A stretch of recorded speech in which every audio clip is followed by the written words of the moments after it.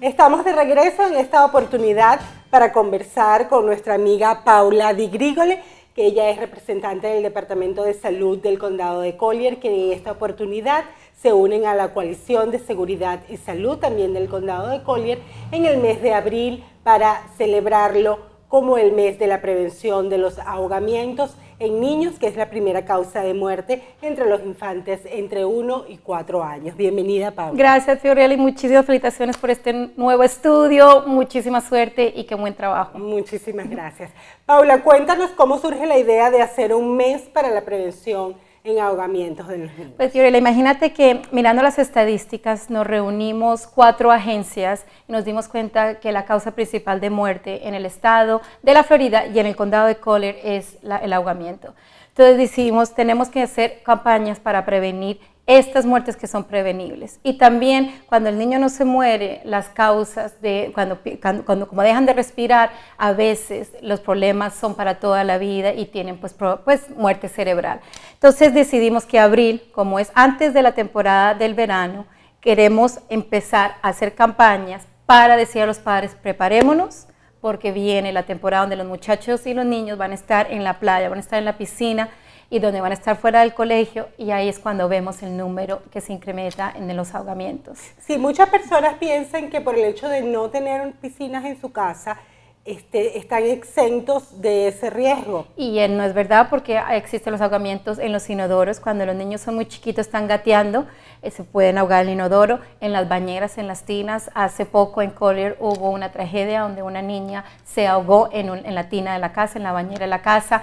Se pueden ahogar en, en los lavamanos, si, digamos en los baldes estás limpiando tú el piso y dejas el balde lleno de agua. Sobre todo estamos hablando de niños chiquitos de, de seis meses para arriba, que como se caen hacia, con la cabeza hacia abajo, no, no tienen la fuerza de levantarse y ahí es cuando se, se pueden ahogar. Y han pasado estos casos en los lagos, detrás de las casas, en, las, en los canales, detrás de las casas. aunque tú no tengas piscina, eso no quiere decir que eso no te puede pasar. El riesgo igualmente existe. Ahora bien, ¿Qué es lo, primero que nosotros debemos hacer como padres que tenemos niños en edades tempranas para involucrarnos en la prevención de este tipo de accidentes? Nosotros, Viola, recomendamos cuatro cosas. Primero, la supervisión. La supervisión como uno como adulto, sobre todo cuando los niños están cerca del agua o dentro del agua, que siempre haya un adulto responsable mirando a los niños. Por ejemplo, en las fiestas, en las reuniones de familia, que una persona, ¿por qué? Porque muchas veces cuando hay tanto en eh, eh, eh, la fiesta, mucha gente, mucha actividad, nadie sabe que quién está mirando a los niños en la piscina. Y es cuando pasan tragedias que la persona piensa, ah, yo pensé que tú estabas mirando a mis hijos. Entonces nosotros le decimos a la persona, por favor, que un adulto sea responsable solamente de estar supervisando a los niños que están cerca o que están dentro de la, de la piscina o de un lago o de un canal cuando hay una fiesta. La supervisión, obviamente nosotros no podemos supervisar a nuestros hijos las 24 horas al día, entonces por eso tenemos que tener lo que se llaman las barreras. Estas barreras son las cosas que te van a prevenir que el niño llegue al, al agua o al lago o al canal o a la piscina. ¿Cuáles son estas? Son las alarmas de las puertas, cuando se abren las, las, puertas corredizas va a sonar la alarma que se abrió. La, también de las ventanas, también las, los seguros de las, de las manijas de las puertas, que el niño, los niños chiquitos no las pueden abrir.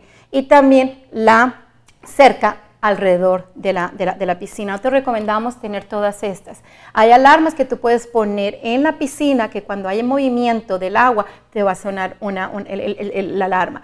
¿Por qué decimos esto? Porque uno como papá, como decíamos, no podemos supervisar las 24 horas del, del día. Si estás cocinando, por ejemplo, el alarma a otros, niños, o estás hablando por teléfono o estás en internet.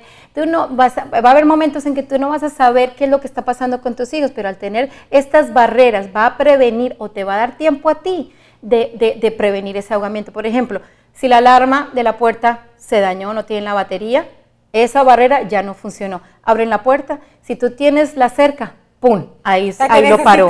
Necesitamos por lo menos tener unas dos no te recomendamos todas las que puedan, todas las, que, puedan. No decir porque yo tengo la alarma si tengo la alarma ya estoy tranquila. Porque si tú si tienes la alarma y no funciona la alarma, ¿qué va a pasar? Ahí está ya libre. Abren la puerta, la alarma no funcionó, ya tienes la, la, la cerca. La cerca es importante, pero al mismo tiempo el niño, son traviesos, van a poner la silla y se van a subir y pueden brincar. Sí, ellos igual se le van a ingeniar para llegar hasta donde está lo que en ese momento ellos quieren hacer. Eh, aparte de esto, existen una serie de actividades que el condado ofrece para reforzar también las medidas de seguridad, como es la educación directamente con los niños en relación a enseñarlos a, nadar. Exacto, y esa es la otra, esa es la otra tercer mensaje que nosotros le queremos decir a la comunidad, enseñarles a nadar. Es importantísimo que los niños sepan a nadar, porque si ninguna de estas barreras funcionó, si el niño sabe nadar, hay la posibilidad que el niño no, si se va a caer o algo, que pueda sobrevivir.